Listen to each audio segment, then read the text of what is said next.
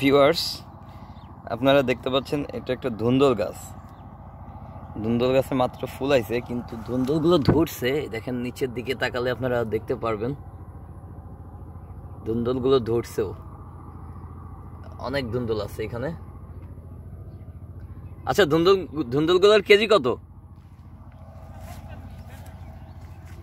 ও, আপনারা লোক না। ঠিক আছে।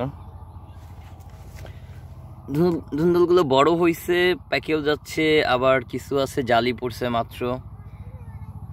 হুম।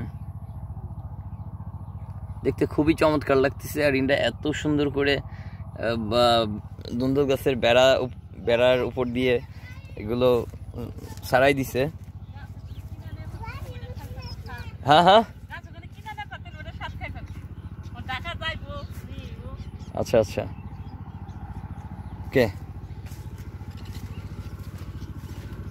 আমরা আপনারা কি করতেছেন? ধুন্দুল কি কালেক্ট করতেছেন? ও আচ্ছা পেঁয়াজ ছুটাচ্ছি। ওটা ধুন্দুল গাছের মানে একটা গাছ একটা গাছের মধ্যে ঢুকে গেছে। ওই গাছগুলো আলাদা আলাদা করে দিচ্ছে।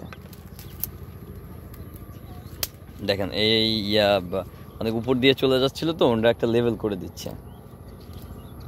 ওকে ভালো কাম।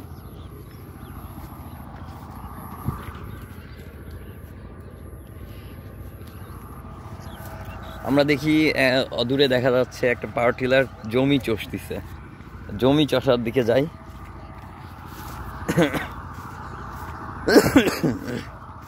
মাই গড আল্লাহ না করুক, এখানে যদি কোনো সাপ টাপ থাকে, আমাকে তো ফুস মেরে দিবে।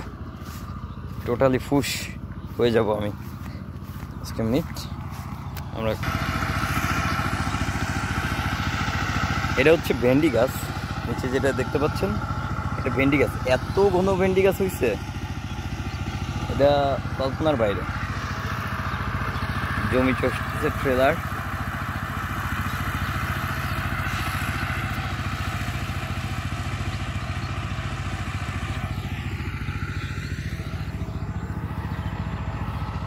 এটা উস্তে গাছ। উস্তে গাছ দেখুন। এটা করলা বলে। এটা করলা গাছ। এক্স্যাক্টলি এটা করলা গাছ।